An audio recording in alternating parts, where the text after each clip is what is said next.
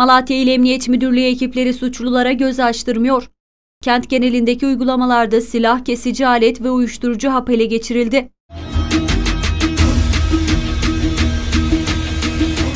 Asayiş Şube Müdürlüğü Oto Hırsızlık Büro Amirliği ekipleri kentte iki motosiklet çalınması ihbarıyla harekete geçti.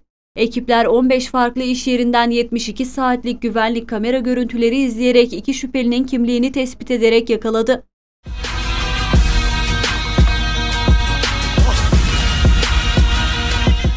Emniyetteki işlemlerinin ardından adliyeye sevk edilen şüphelilerden biri tutuklanırken diğer şüpheli ise adli kontrol şartıyla serbest bırakıldı. Asayiş ekipleri kent genelinde yapılan uygulamada şüphe üzerine bir aracı durdurdu. Araçta yapılan aramada 1115 uyuşturucu hap ele geçirildi.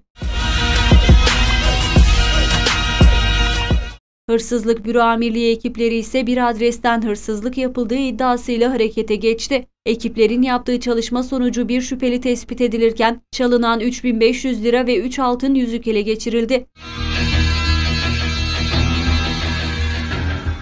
Şüphelinin adresinde yapılan aramalarda ise 4 silah, 33 mermi ve 2 kesici alet yakalandı.